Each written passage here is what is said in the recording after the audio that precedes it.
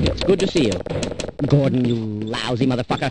Get your dork ass down to the test chamber or else I will shove the sample up your ass. And stop fucking with the microwave.